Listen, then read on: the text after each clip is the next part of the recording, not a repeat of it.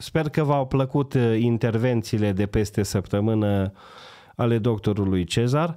Acum vreau să vin cu niște întrebări directe, niște întrebări pertinente. Uitați-vă în SUA, doctorul Oz, pe care îl cunoaște din atâtea canale de comunicare, n-a reușit să intre în Senatul uh, Statelor Unitele, Unite ale Americii.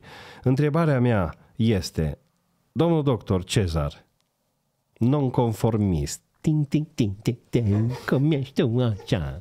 De, de, de. Ai ca... Publicul, 10.000 de oameni. nu sunt Dan Negru, dar pot să fiu. Mâine. Ai candidat vreodată la o funcție în stat? N-aș candida pentru că aș fi nevoit să mint și eu nu pot să mint. Încă nu sunt N-ai așa... organul ăsta. Nu am organul ăsta, minciunii și Uite, nu... Nelu Tătaru, îți mai spune ceva Nelu Tătaru? Acum chiar suntem la final de podcastul, podcastul. Nelu Tătaru, care era cu moțul ăla în pandemie din Vaslui, Așa. chirurg, știi? Să mai aude ceva de Da, nu știu că nu mă interesează, eu n-am urmărit. Rafila. Sunt total...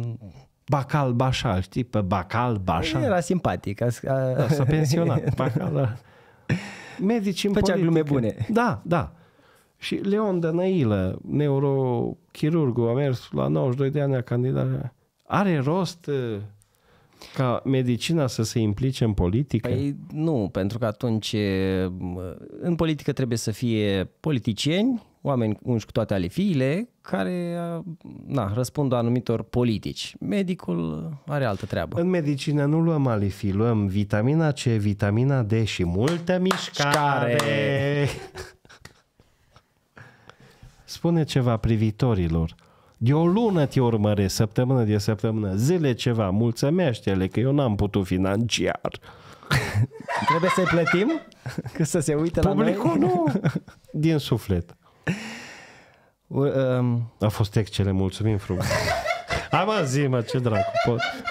Hai să le spunem la oamenii ăștia care s-au uitat cu zecile, sutele de mii, numai beteji. Beteș, păi și-au luat sănătatea în propriile mâini sau s-au uitat degeaba?